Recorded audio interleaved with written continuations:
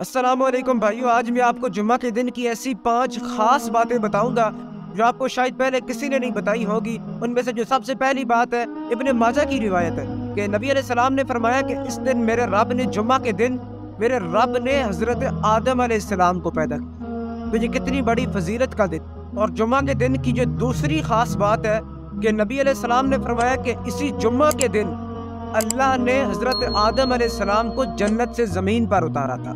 वो भी जुमे का ही दिन था, जब शैतान ने हज़रत आदम सलाम से ख़ता करवाई थी।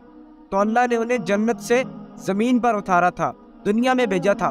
तो वो भी जुमे का दिन ही था। और जुमा के दिन की तीसरी ख़ास बात यह है कि फरमाया कि इसी दिन अल्लाह ने हज़रत आदम सलाम को वफ़ात दी थी। वो जुमा का दिन ही था, जिस दिन हज़रत आदम सलाम दुनिया से रुखसत हुए थे। और भाइयों, इस दिन की चौथी ख़ास बात यह है कि अल्लाह के नबी ने फरमाया कि इस दिन में एक ऐसा टाइम होता है, एक ऐसा छोटा सा लम्हा होता है कि अगर जिसमें कोई बंदा दुआ मांगे, जायज़ चीज़ मांगे, नाजायज़ चीज़, हराम चीज़ ना मांगे, जायज़ ख्वाहिश करे, जायज़ दुआ मांगे अल्लाह से तो आपने फरमाया कि अल्लाह उसकी दुआ को वो ज़रूर कबूल करता है। लेकिन ये लम्हा, वो टाइम अल्लाह ने छुपाया हुआ है।